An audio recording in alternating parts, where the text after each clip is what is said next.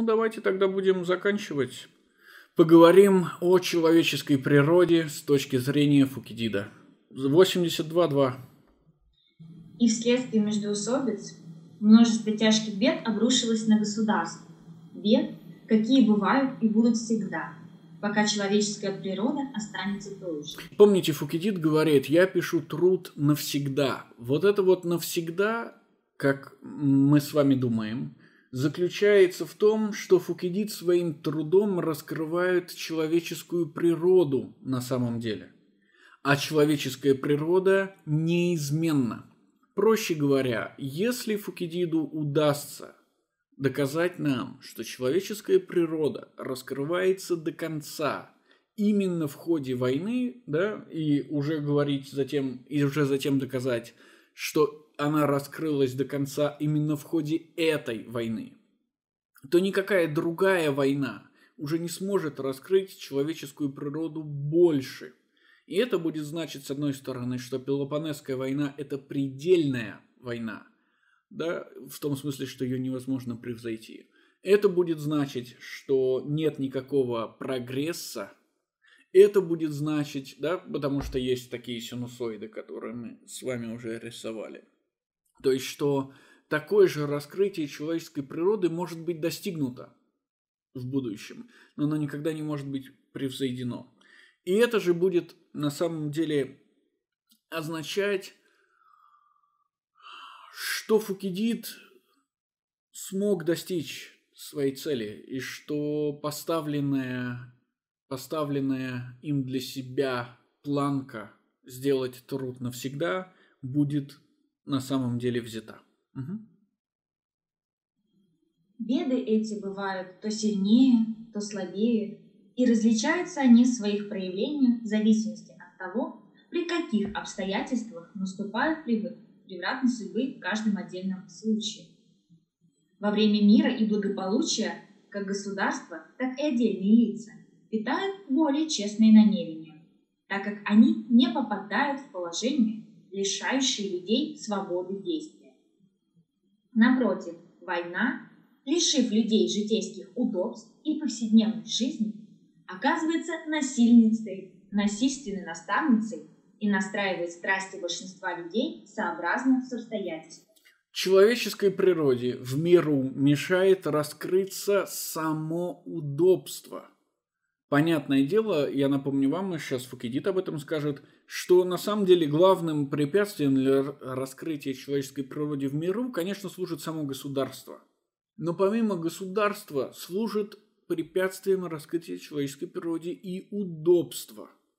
Несмотря на то, что все люди обладают единой природой, и эта природа неизменна, чаще всего люди не хотят добровольно эту природу проявлять мы предполагаем потому, что это сложно, это тяжело. Люди, как вы помните из Макиавелли, враги всяких затруднительных предприятий. Так вот, говорит Фукидид, война не просто дает им возможность проявить свою природу. Война также заставляет их проявлять свою природу на полную. Да? В этом смысле предельная война – это война, которая заставит вас полностью раскрыть свою собственную природу. Угу. А, вопрос. Да удобство же не возникает просто так. Удобства создаются людьми даже ну, вне государственного состояния, потому что, как мы помним, государства начали возникать из э, страха и выгоды. Э, Смотрите, удобства создаются благодаря миру. Люди благодаря миру накапливают всевозможные блага, как вы помните. Да, все верно. И угу. поэтому у меня вопрос. Если появление природы человека это такое затруднительное занятие, и ему препятствует не только государство, которое мы могли бы, например, в духе какого-нибудь анархизма назвать вот таким досадным недоразумением, которое нам навязали, то удобства люди создают себе сами. И состояние мира люди тоже продуцируют сами. Нельзя ли утверждать, что то, что Фукидид понимает по природе человека, на самом деле это скорее обратная сторона? То есть люди скорее стремятся к тому, чтобы не проявлять этих свойств. Мы могли бы сказать вслед за Макиавелли, что люди враги всяких затруднительных предприятий. Поэтому, несмотря на то, что природа подталкивает их к чему-то, они не очень хотят что-то вообще делать. В том числе и проявлять ее, потому что это тяжело, это требует усилий. Ну, значит, мы могли бы сказать, что в природе человека, в том числе в том, э, что люди по своей, ну, условно говоря, по своей природе ленивы и не хотят проявлений там, жестокости, отваги, величия и так далее. Можно было бы, да. Наверное, я бы мог сказать, что уже не след за Макиавелли, а след за Гоббсом, что Гоббс именно такой вывод и делает. Что на, сам, на самом деле люди не хотят только одного, а все остальное их устраивает. Но Фукидид ведь нам указывает не только на ту проблему, что удобство, оно противостоит воплощению природы. Такое вполне может быть для большинства, но не для всех. Более того, вы должны помнить, что мотивы создания государства и мотивы его гибели – это одни и те же мотивы. Именно поэтому стремление к удобству может быть как мотивом создания государства, да? Я хочу обогатиться, давайте, как, как в случае с Минусом, давайте мы уничтожим пиратство – и будем обогащаться, да, давайте мы откинем варварство и достигнем цивилизации, давайте мы прекратим воевать, достигнем мира, и это будет богатство. Мир несет с собой обогащение. Понятное дело, мое обогащение. Но тот же самый мотив, мотив, опять же, человеческой природы, ведет нас и в другую сторону. Но тогда у меня возникает такой вопрос. Если э, становление государства и падение государства суть есть проявление природы человека, э, ну, то одного процесса в нем, то тогда возникает вопрос. Если природа человека проявляется в лучших, да, условно говоря, из людей, uh э, вот, самых, да, ну, в лучших в плане тех, кого упоминают в Гетит, да, там они раскрывают в процессе войны свою природу и так далее. uh то если, государ... если к появлению государства и подавлению природы ведет то же самое, что и падение государства, то не можем ли мы заключить, что, что Алкивиад, Ники и прочие, вот эти ребята, обладают такой же природой, как и те, кто не проявил ее? Конечно, природа человека общая для всех людей. Да, То есть вопрос не в том, обладаете ли вы или нет, вопрос в том, раскрываете ли вы или нет. Во время мира, помимо природы, есть еще другие мотивы поведения. То есть помимо проявления природы, есть какие-то воспитанные наклонности, привитые наклонности. Э, ну, скажем, законопослушность. Почему бы и нет? Да? То есть вы же не являетесь законопослушными от рождения. Такого не бывает. Законопослушность является привитой. А вот во время войны уже никакой законопослушности, к никакой законопослушности апеллировать не получится, потому что закона нет. Поэтому вы должны опираться на что-то, для того, чтобы действовать, вы должны опираться на что-то более прочное, что-то вечное, что-то, что не упадет. И во время войны, естественно, когда падает государство, падает все это наносное, и остается только нечто подлинное. То есть, помните, проблема классической политической философии ставится из наблюдения того, что разные режимы имеют разные законы. И потому классики ставят вопрос, а на каком основании законный порядок вообще возможен? То есть, как так получилось, что все государства вроде бы стремятся в одну и ту же точку, но почему-то действуют совершенно противоположным образом? То есть, это такая софистическая, в начале, конечно, софистическая критика государства. Государство является конвенциональным, оно не является естественным. И так как оно является конвенциональным, оно является непрочным. То есть то, на что мы сегодня согласились, мы завтра можем не соглашаться. Или переделать, или передумать, или отказаться.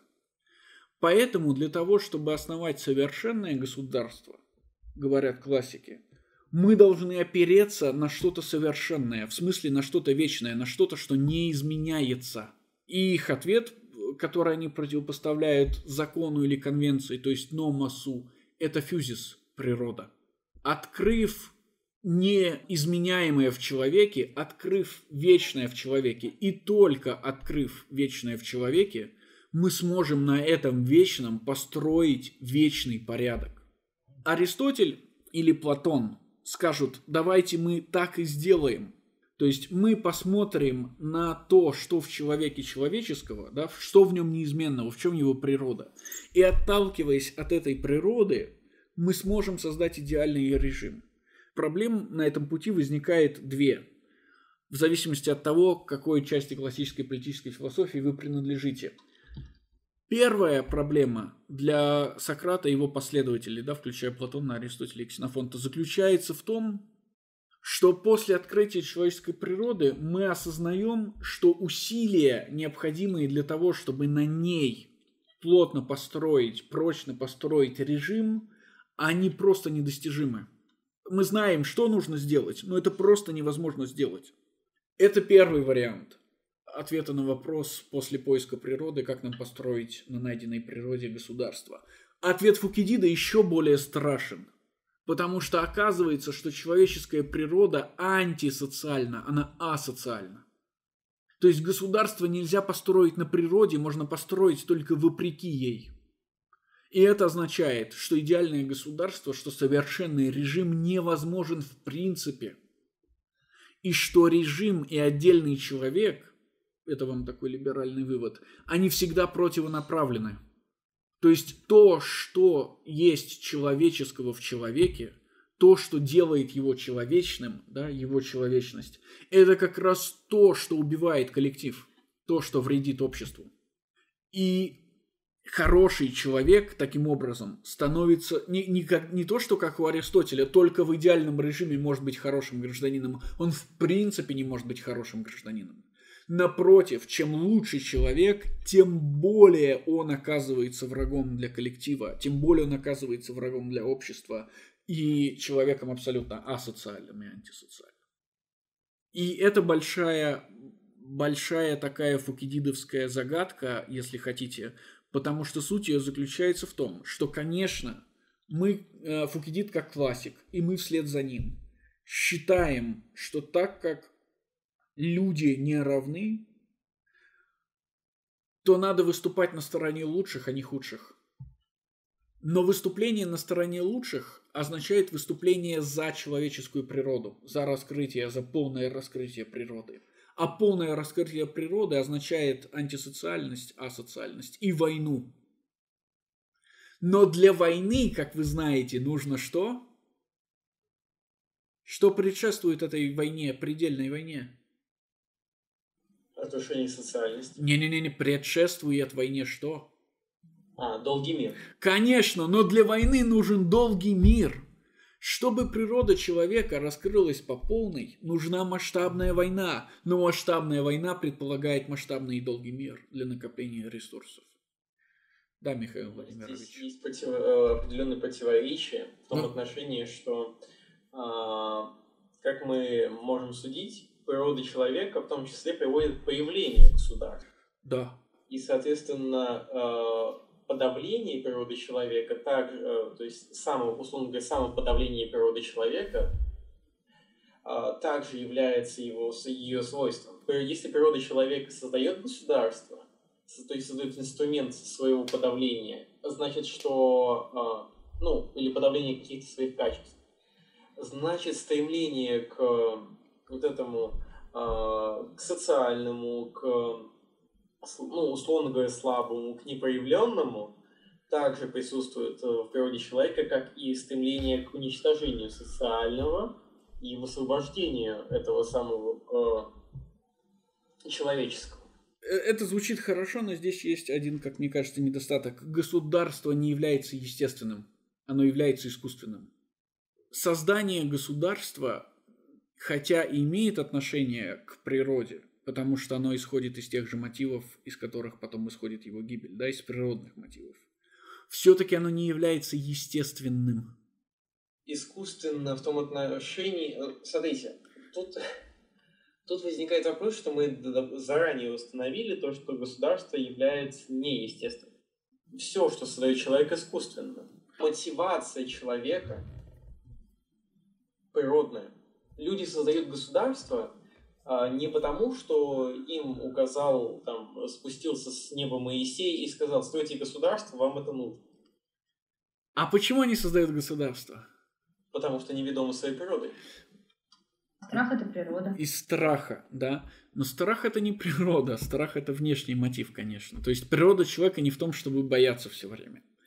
Хотя страх человек может испытывать. Они создают государство из страха. Но создают его, если мы вспомним про Гоббса, с помощью разума, не с помощью природы. Это действительно такой хороший парадокс. Не заключено, не заключено ли в природе человека государство? Вот если мы следуем за, Гоббсу, за Гоббсом, ответ нет, потому что государство искусственно.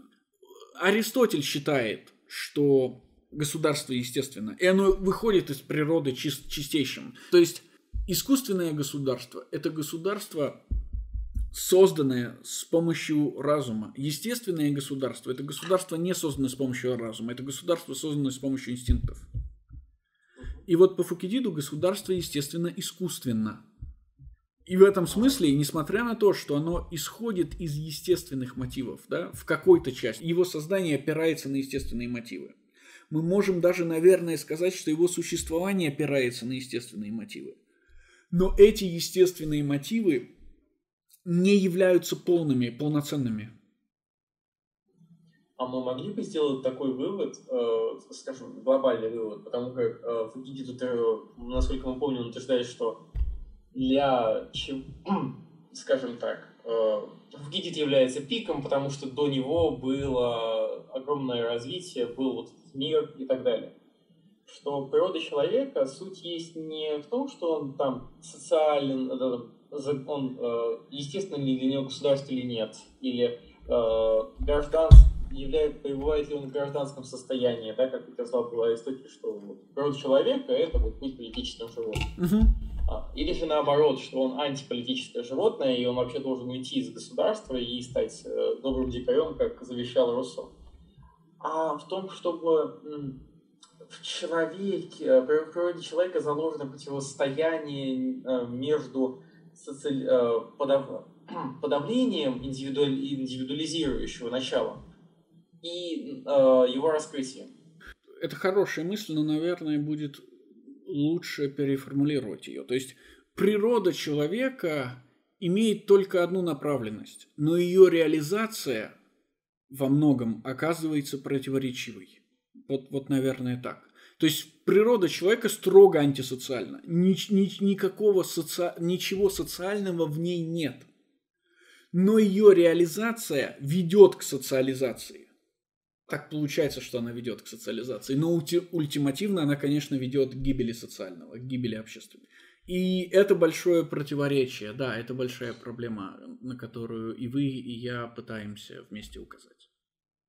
Тут еще возникает нюанс, что мы с вами можем, например, утверждать как раз-таки антисоциальность человеческой, человеческой природы в том, и Фукидид нам дает больше доказательств этого, да, то есть мы наблюдаем в истории Пелопонесской войны последовательное фактически разрушение социального. И как следствие высвобождение вот этих новых, э, новых личностей, вершиной которых является Алкибиад. Э, но тут возникает вопрос, что э, является ли социально исключительно противопоставлением человеческому? Мы возвращаемся обратно, да, в какой-то момент человеческое требует или создает социальное, но только для того, чтобы, оперевшись на него, да, оперевшись на его гибель, затем высвободиться до конца.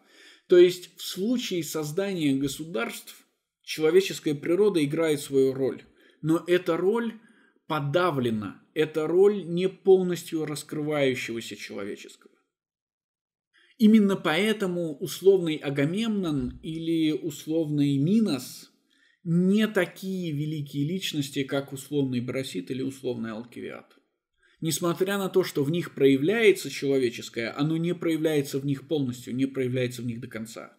И это не проявление до конца и делает их основателями государств, а не разрушителями государств. Можно ли тогда эм, универсализировать вот то, что вы сказали, в такой принцип, что природа человека заключается в том, чтобы с одной, э, сначала аккумулировать собственный ресурс, а затем, разрушив форму аккумуляции, высвободить его в какой-либо исход. То есть высвобождение этого, оно у нас индивидуально, как мы видим, Но для того, чтобы это триумф идеи индивидуальности в виде Фукидида, в виде Алкивиада и прочих стал возможен, необходимо на определенное время подавить эту индивидуальность, социальный состав государства. Не совсем так, потому что создание государства, оно же тоже индивидуальное. Просто создание государства является проявлением природы в неполной ситуации. Проявление природы, возможно, полное проявление природы, возможно только на пике прогресса. Создание государства – это не пик прогресса, а, а наоборот... Алтивиада создать государство своих, э, для своих детей не является ли как раз э, то есть, обратной стороной этого триумфа? Помните, что Алкивиад говорит это спартанцам. То есть он выдвигает новый принцип патриотизма для того, чтобы перетянуть их на свою сторону. Мы не можем знать, верит ли он в этот принцип и собирается ли он вообще что-то создавать, помимо того, что он собирается просто захватить власть в родном городе. Это действительно так, но возникает такой вопрос, что его амбиция стать тираном фактически же предполагает, что он не просто вот пришел, сел на трон и, и хватит с этого. Ну, конечно, мы знаем, что он там недолго просидит, но Алкивиад этого еще не знает, для него это еще не просквыливает. Фукидид показывает нам, что человеческая природа, да, ее, ее раскрытие никак не связано с успехом или неуспехом. То есть идея о том, станет ли Алкивиад или не станет кем-то, она абсолютно второстепенна по сравнению с природой, с раскрытием природы. Просто у нас мы могли бы, э, так сказать, замкнуть вот этот круг, если бы сказали, что создание государства – это проявление природы в, ограниченном, в ограниченных условиях, угу. но создание государства происходит благодаря людям, которые проявили свою природу в абсолютных условиях. Я не совсем понял, что вы имеете в виду. Ну, то есть, чаще всего государства создаются по итогам войн э, какими-нибудь лидерами, основателями государств. И эти люди в процессе этой войны проявили свою природу максимально, и итогом э, их проявления стало создание новых государств, которые далее аккумулируют вот этот ресурс и высвобождают э, в виде новых людей, которые также могут в потенции, высвобождая свою природу абсолютно, в абсолютных условиях создать новые государства. Это был бы, наверное, неплохой вывод, но, к сожалению, Алкивиад оказывается не создателем, а только разрушителем. Но, как вы сами сказали, то, что Фукидид не акцентирует внимание на том, что успех необходим для проявления природы. Да, как раз-таки это полный его неуспех, что да. делает его особенным. То есть Алкивиад уничтожает Афины, а не создает их. Проявляя свою природу, он губит родной город, а не спасает его. И если бы он отказался проявлять свою природу, да, то есть если бы, когда афиняне прислали за ним на сицилийской экспедиции и э, с целью приговорить его к смертной казни, он бы сказал, хорошо, я вам подчинюсь, и его бы убили, город бы сохранился. Но тот факт, что Алкивиата решил проявить природу, ведет к гибели города. Да, но возможно, потен... возможно к потенциальному созданию нового. Ведь он же все равно меняет своим действием а, меняет своим действием Спарту, например.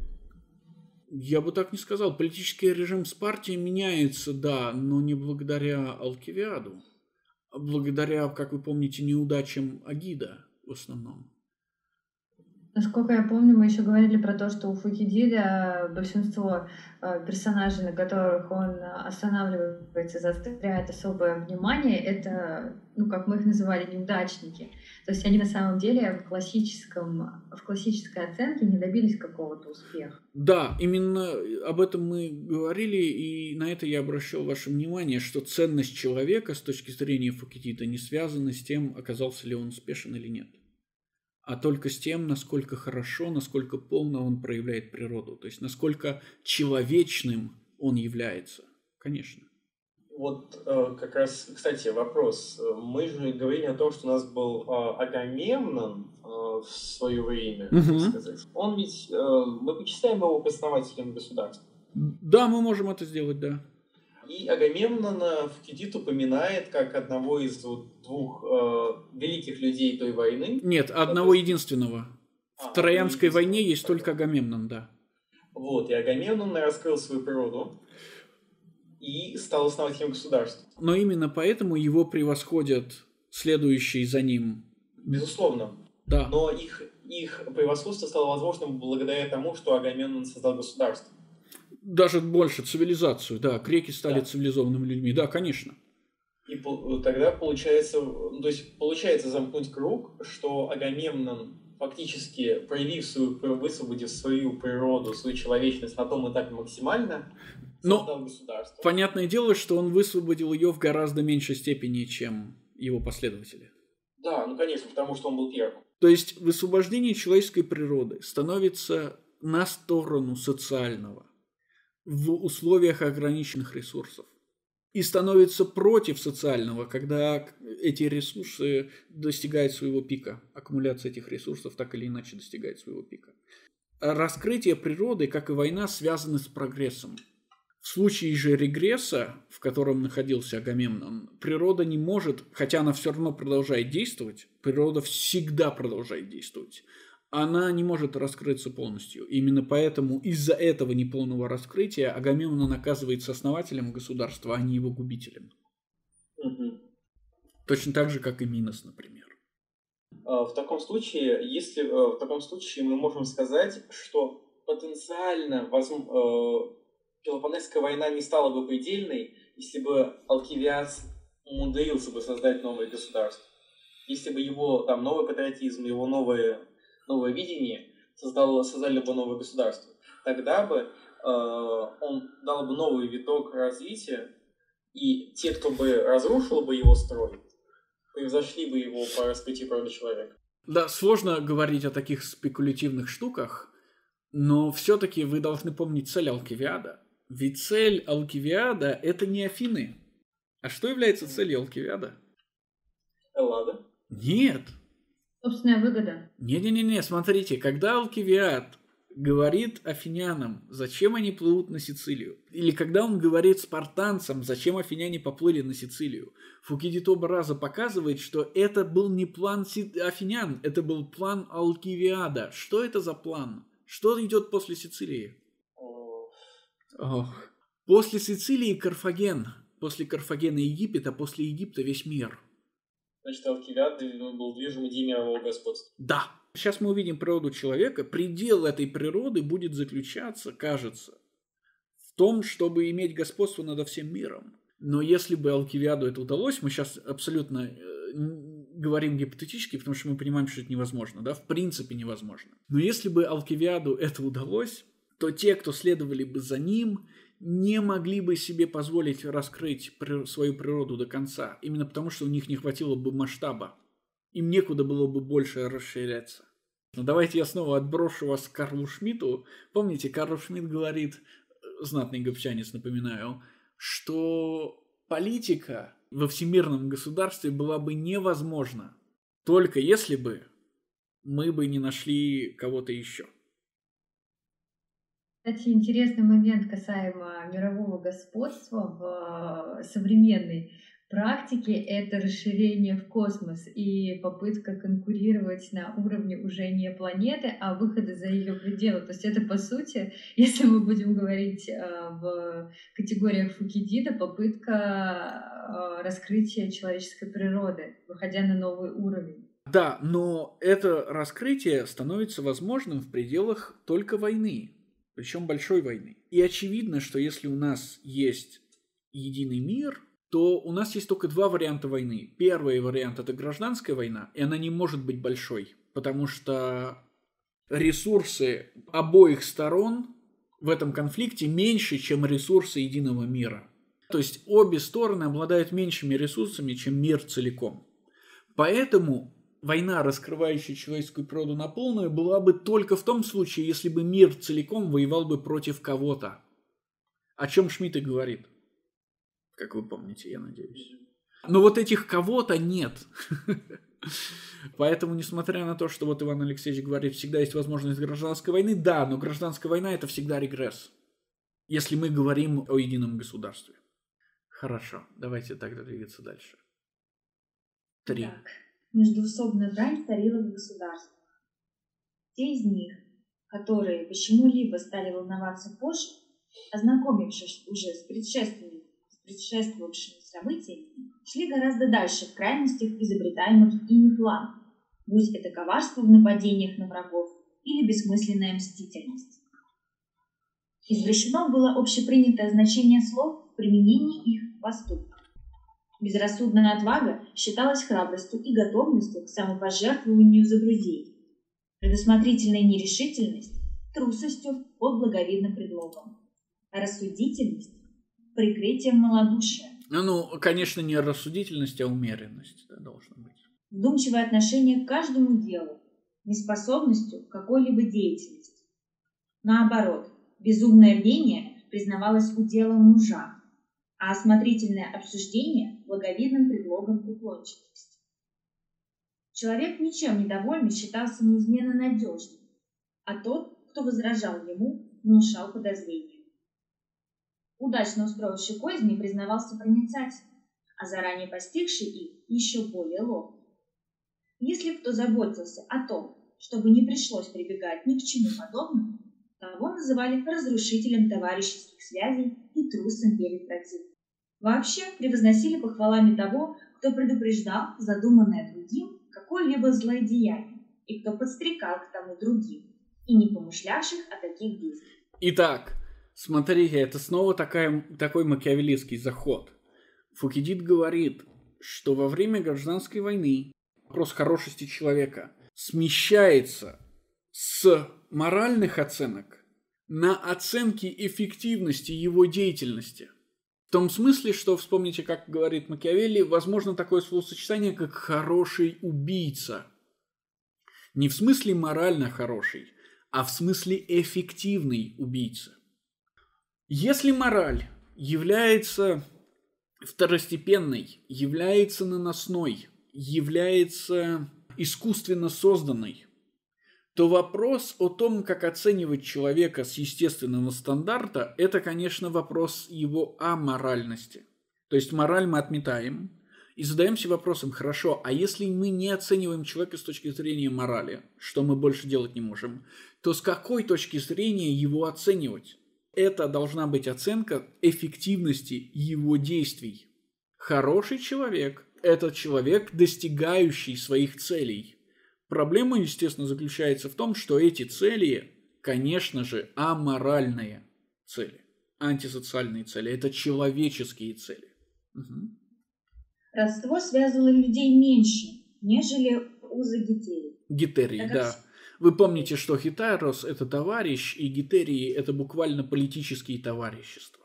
Угу так как члены последних отваживались на все, на все с большей готовностью и без всяких отговорок. Ведь подобные товарищества составлялись не ради благих целей согласия с существующими законами, но в видах корыстных против господствующего порядка. Доверие друг другу скреплялось в них не столько уважением к божескому закону, сколько соучастием в тех или иных противозаконных деяниях. Следующий вопрос. Сейчас а, тут вопрос от Владимира Евгеньевича. Но при этом великие люди неудачники. Да, так и есть. То есть не достигают своих целей. Да. Хорошие ли тогда великие? О, вот это хороший, хор, хороший правильный вопрос. Мы говорим сейчас о том, что во время гражданских войн, когда мораль перестала действовать, люди задались вопросом, это вопрос вечный, как отличать хорошего человека от плохого – и ответ, который они нашли во время гражданских войн, заключается в том, что хороший человек – это человек, достигающий своих целей, это эффективный человек.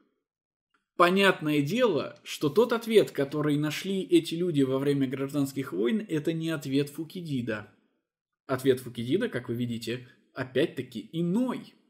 Добрые предложения противников принимались не по благородному доверию, но после действительных мер предосторожности и только тогда, когда на стороне врага был кризис.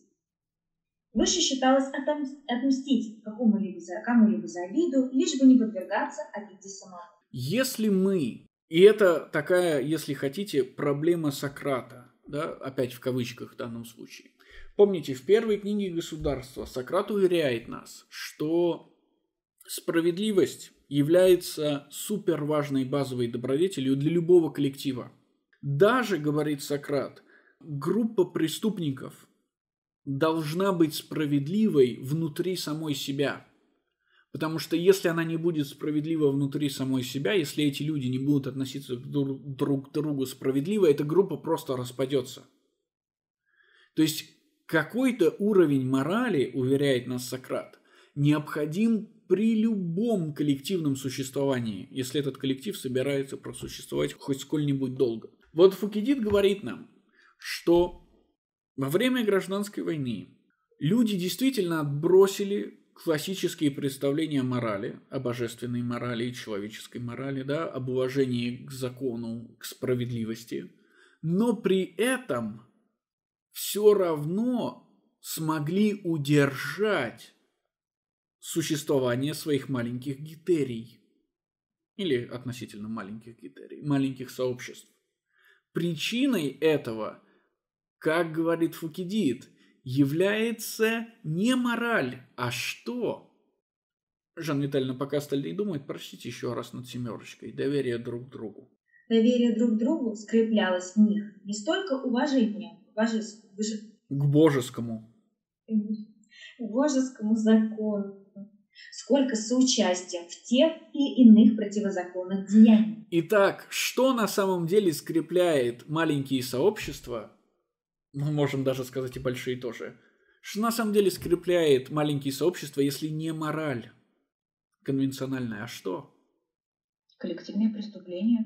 Ну, нет. И даже не общее дело. Что? Страх? Конечно, страх. Общий страх, потому что другие нападают, и, соответственно, объединяясь, есть больше возможностей. Не-не-не, общий страх, что если вы что-то будете делать не так, вас сдадут. Или так. Конечно, на самом деле сообщества скреплены не позитивными уверениями, да, не позитивными вещами, такими, такие как мораль или божеский закон, или справедливость. На самом деле они скреплены негативными мотивами, мотивом страха. Вы, конечно же, немедленно можете броситься к Гоббсу и вспомнить, как создается общество с точки зрения Гоббса. Центральный, если не сказать единственный мотив образования большого сообщества – это страх. Никаких других мотивов, типа морали, божественного закона, справедливости в организации обществ нет. Конечно же, вы должны вернуться и спросить себя, а что это за страх? Страх перед кем? Но ответ на этот вопрос кажется абсолютно очевидным. Угу. А, мы, кажется, говорили про страх перед государством. Не-не-не-не, сейчас, когда все упало, когда государства больше нет, и с ним вместе исчезает мораль, божественный закон и человеческий закон. Сократ говорит нам, не может такого быть, потому что даже сообщество преступников, то есть людей противозаконных по определению, нуждается в справедливости, нуждается в морали внутри самих себя. Фугедит отвечает «нет, нет, нет, нет, ничего подобного». Сообщество преступников продолжает существовать не из-за морали, какой бы то ни было, а только из-за голого страха. Ничего другого не удерживает преступников, не удерживает людей, которые уже начали проявлять свою природу, да, которые отказались поддаваться давлению государства, кроме этого мотива. А, тогда это может быть страх предательства. Тогда, конечно, конечно, это страх, что ваш подельник вас сдаст, если что-то ему не понравится. Но ваш подельник испытывает тот же самый страх по отношению к вам. Это ведь круговая порука. Соответственно, целиком общество держится на том, что все участники общества боятся друг друга – не внешних каких-то штук, хотя и это тоже, но в первую очередь друг друга. Угу, давайте продолжим. Если, быть может, в целях примирения и давались клятвы, то это делалось обеими сторонами только ввиду безвыходности положения в данный момент, когда не имелось уже никаких других средств. При удобном случае лишь только одна из сторон приобретала уверенность в себе, а на другой стороне замечалась беспечность. Первая мстила тем большим наслаждением, чем противников благодаря доверию клятве нападения застигала тайна. Да, страх оказывается также способным преодолеть и мораль, естественно. Вы снова должны вернуться на уровень выше и посмотреть, как ведут себя государства. Или хотя бы вспомнить Макиавелли, который говорит «обещай всем все и всегда, а повод нарушить обещания найдутся». Угу. Нападающий имел в виду и собственную безопасность, и сверх того приобретал славу проницательного человека за то, что одолел противника с помощью коварства. Большая часть людей охотнее предоставляет называть себя ловким злодеем, нежели добродетельными простаками. Последнего названия они стыдятся. И Фукидид добавляет нам, опять против Сократа, что вполне возможна такая штука, как существование счастливого злодея. Сократ уверен, ну или если хотите вторая часть классической политической философии, сократическая ее часть, уверена, что это невозможная ситуация. Фукидид уверен, что эта ситуация не просто возможна, но и осуществима. Угу. Сократ уверен, что это невозможно исключительно из-за того, что даже вот эти маленькие преступные сообщества регулируются какой-то определенной моралью, именно поэтому даже самый отъявленный злодей не может быть счастлив, что его давит э, моральный закон какой-то определенный. Вы должны вспомнить первую книгу государства и аргументацию Сократа там. Сократ говорит, что если ты кому-либо вредишь, ты на самом деле вредишь самому себе. Поэтому, если ты плохой, ты вредишь другим. А если ты вредишь другим, то ты становишься хуже сам, след, потому что ты вредишь самому себе. Следовательно, плохой человек не может быть счастлив, не может быть совершенен. Угу. Потому что все его преступления делают хуже его самого. Да. Угу. Хорошо, давайте дочитаем. Тут как раз появляется, появляется нужный отрывок о выводе Фукидида о человеческой природе. Источником всего этого является жажда власти, которой добиваются люди, и корыстолюбие, и честолюбие. Итак, вот вам три свойства человеческой природы. Три свойства человеческой природы – это властолюбие, корыстолюбие и честолюбие. Именно эти три свойства человеческой природы, с одной стороны, становятся поводом или причиной основания государств, и они же становятся причиной их уничтожения. Угу. Отсюда и проистекает та страстность, с какой люди соперничают между собой. И в самом деле, лица той или другой партии, становившиеся во главе государства, выставляли на вид благопристойные соображения. Одни отдавали предпочтение политическому равноправию народной массы, другие – умеренному управлению аристократии. В стивых речах они выставляли общее благо как свою награду. На деле же всячески боролись между собой за преобладание, отваживались на ужаснейшие злодеяния и еще дальше шли своей мстительностью, руководствуясь не мерой справедливости и требованием государственной пользы, а соображаясь только с тем, что могло быть всегда угодно той или другой партии. Вы видите, как проявление природы оказывается антисоциальным. 83. Таким образом, следствие междоусобиц нравственная порча... Моральная порча, давайте, моральная порча. Моральная порча во всевозможных видах водворилась среди эллинов. И то простодушие, которое более всего присуще благородству, было осмеяно и исчезло. Наоборот, широко возобладало неприязненное, полное недоверие отношения друг к другу. Я напоминаю вам, что это важнейшее замечание носит такой же характер, как и замечание о чуме. Именно в этих условиях и появляется классическая политическая философия. То есть она не просто становится возможной в момент морального разложения. Кажется, именно в этот момент она становится необходимой.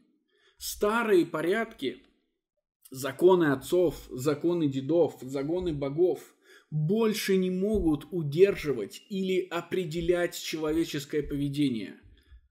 К ним нельзя вернуться, да, потеря невинности – это одноразовая штука, нельзя потом снова в невинность вернуться. Поэтому, когда законы дедов падают, встает вопрос, а что может их заменить? И в ответе на этот вопрос И появляется, например, Сократ, который говорит, что? Что может заменить? Философия? Не-не-не-не-не-не-не. На какую штуку мы должны опираться теперь, когда заветы отцов, классическая мораль, традиционная мораль больше не работает? Какое лекарство от, от текущего положения-то? Как это лекарство называется? Э, какая-то религиозная подоплека? Не, нет, никакой, никакой религиозной подоплеки больше быть не может. Нужно создать собственный миф. Нет, нет, нет, нет, нет. Это... А религия равно деды? Правильно? Конечно, конечно. Так, значит, неправильно. Да, Сократ предлагает опереться на что-то другое в человеческом поведении. Не на традицию, на что? Сократ предлагает опереться на разум. А, Традиция мертва, и она больше не может вернуться. Поэтому нам нужно что-то другое, на, основании чего мы могли бы построить общество. Появляется философия в этот критический момент, и только в этот критический момент она возможна, и говорит, у меня есть решение этой проблемы. Мы должны опираться на разум. Кто-то говорил философия, это получается из разума вытекает философия, да? Нет, я имела в виду, что... Вернее, я ошиблась. Был вопрос, что придет на... а, что придет взамен а, падшим, упавшим, разрушенным законам. И этот ответ предлагает философия. Она предлагает ответ разум. Да. Если я правильно понимаю. Да. Сократ предлагает этот ответ. Сократ предлагает рацию, да? Да, да. И мы, естественно, можем сказать, что какое-то время, какие-то две тысячи лет, две с лишним, этот ответ был успешным. Почему этот ответ был успешным? Потому что люди, существовавшие в, а, в ситуации, когда больше нельзя опираться на обещания, потому что традиционные обещания больше ничего не значат, да, все обещания подкрепляются богами. Когда нельзя опираться на законы, начали уже самостоятельно опираться на нечто другое. Давайте посмотрим на что. Три. Перевес обыкновенно бывал на стороне людей не особенно дальнего ума. Сознавая свою недальновидность и чувствуя проницательность со стороны противника, они боялись, как бы не оказаться менее искусными в способности логически рассуждать, как бы другая сторона при своей изворотливости не предупредила их поздно. Да, потому что люди уже в этой ситуации погибшего государства, погибшего старого порядка или старых порядков, вынуждены опираться на собственный разум. То есть раньше дело было простое. Вам человек что-то обещает, клянется богами, он это сделает. Потому что боги есть, и он это знает, и они его накажут, если он что-то будет делать не так. Теперь же и вы, и он оба знаете, что обещания ничего не значат, потому что боги не придут вам на помощь и не накажут клятва преступника. Поэтому клятвы ничего не значат. Вы также знаете, что государство не придет вам на помощь и не накажет преступника, потому что его нет. И, следовательно, вы можете опираться только на самих себя.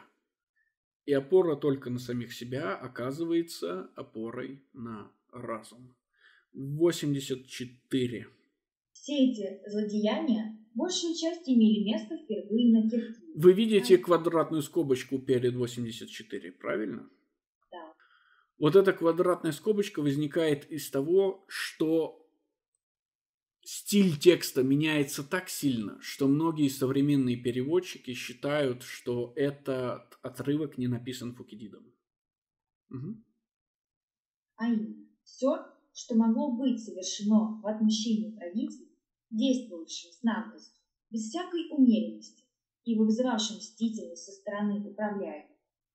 Все, что могло быть сделано для избавления себя от обычной бедности, в особенности вследствие противозаконной решимости и страстного желания захватить чужое добро. Да, помните, что, естественно, афинская чума ведет к правильным выводам о том, что нет смысла действовать на долгую перспективу. Мгм. Наконец, все, что люди могли учинить не из мести за превосходство, но будучи почти в равном положении с противником, впадая в крайность вследствие необузданности страстей и действуя с ожесточением и беспощадностью. В это время основы государственной жизни были потрясены.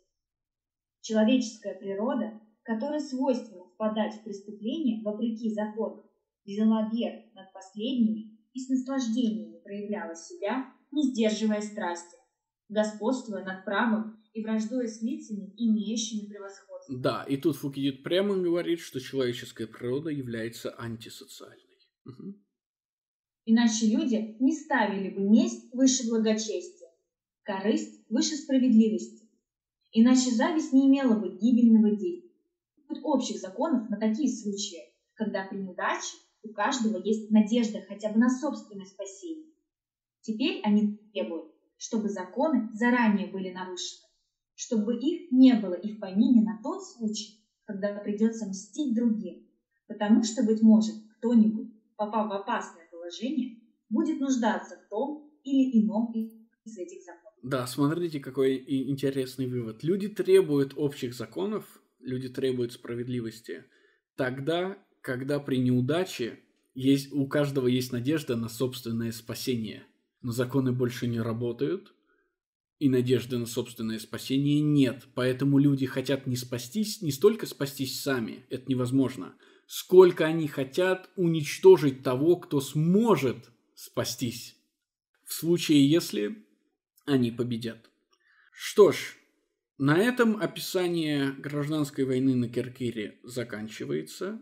На этом заканчивается и описание Фукидидом природы человека и ее свойств. И на этом, наверное, нам с вами и нужно остановиться.